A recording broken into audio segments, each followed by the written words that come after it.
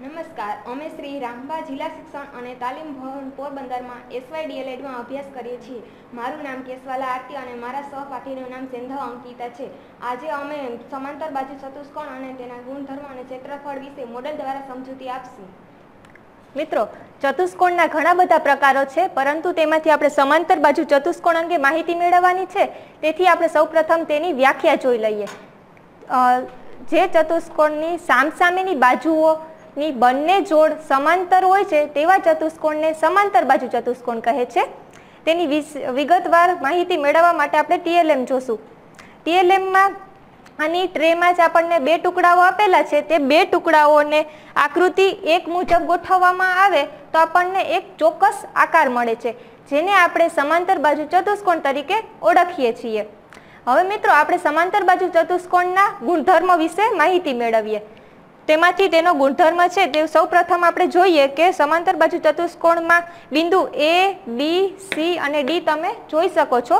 તેમાંથી D C સમાંતર એ બી અને ડી એ સમાંતર બી સી છે રેખાખંડ. એટલે સમાન અંતરે આવેલા છે. જેને આ રેખાખંડને અનંત સુધી લંબાવવામાં આવે તો પણ તે એકબીજા સાથે છેદતા નથી. હવે આપણે બીજો ગુણધર્મ જોઈએ તો. સમાંતર બાજુ ચતુષ્કોણના વિકર્ણો હોય છે તે પરસ્પર દુભાગે છે. સમાંતર બાજુ ચતુષ્કોણના જે વિકર્ણો હોય છે તેના માપ સમાન હોતા નથી. એક માપ મોટું હોય છે તો એક માપ નાનું હોય છે. સમાંતર બાજુ ચતુષ્કોણમાં સામસામેની બાજુના માપ સમાન હોય છે. ડી બી બી સી બાજુ છે તેટલું માપ હોય છે તેટલું જ માપ બાજુ એ બીનું હોય છે અને જેટલું માપ ડી એનું હોય છે તેટલું જ માપ બી સી બાજુનું હોય છે.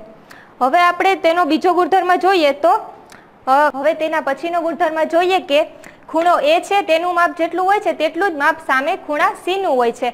અને ખૂણા ડીનું માપ હોય છે, તેટલું જ માપ ખૂણા વીનું હોય છે. એટલે સામસામેના ખૂણાના માપ સમાન હોય છે. હવે આપણે આ ટ્રેમાં જે બે ટુકડા આપેલા છે, તેને આકૃતિ બે પ્રમાણે ગોઠવવાના પ્રયત્ન કરીશું. તો આપણને એક ચોક્કસ આકાર મળે છે, જે લંબચોરસ છે. જેને આપણે બ્લેકબોર્ડ ઉપર બિંદુ એ, બિંદુ બી, બિંદુ સી અને બિંદુ ડી દ્વારા દર્શાવેલો છે. હવે આપણે ફરીથી આકૃતિ એક ઉપર જઈએ. જેમાં બિંદુ ડી છે, તે રેખાખંડ એ બી ઉપર લંબ દોરવામાં આવે તો આપણને કાટકોણ ત્રિકોણ મળે છે. આ છે એક મિત્રો, કાટકોણ ત્રિકોણ છે અને આ એક અનિયમિત ચતુષ્કોણ છે. તે બંનેને આકૃતિ એક પ્રમાણે ગોઠવવામાં આવે તો આપણને સમાંતર બાજુ ચતુષ્કોણ મળે છે અને તે જ કાટકોણ ત્રિકોણને અને અનિયમિત ચતુષ્કોણની આકૃતિ બે પ્રમાણે ગોઠવવામાં આવે તો આપણને લંબચોરસનો આકાર મળે છે. આ બંને આકારો છે, મિત્રો, તેના ક્ષેત્રફળ છે ને સમાન હોય છે. સમાંતર બાજુ ચતુષ્કોણનું ક્ષેત્રફળ બરાબર પાયો ગુણ્યા વેધ. તેનો પાયો છે એ બી અને તેનો, તેના પરનો વેધ છે ડી એમ. એટલે એ બી ગુણ્યા ડી એમ. જેટલું એનું ક્ષેત્રફળ મળશે, સમાંતર બાજુ ચતુષ્કોણનું, તેટલું જ ક્ષેત્રફળ આપણને લંબચોરસનું મળશે. લંબચોરસનું ક્ષેત્રફળ બરાબર લંબાઈ ગુણ્યા પહોળાઈ. તેની લંબાઈ છે એ બી અને તેની પહોળાઈ છે બી સી. એટલે એ બી ગુણ્યા બીસી એટલે આ મોડેલ છે તેના દ્વારા આપણે સમાંતર બાજુ ચતુષ્કોણના ગુણધર્મ અને ક્ષેત્રફળ સરળતાથી આપણે સમજી શકશું. ધન્યવાદ. આ વિડીયોને લાઇક કરો, તમારા મિત્રોને શેર કરો અને આવો વધુ વીડિયો જોવા માટે આ ચેનલને સબસ્ક્રાઈબ કરો. Thank you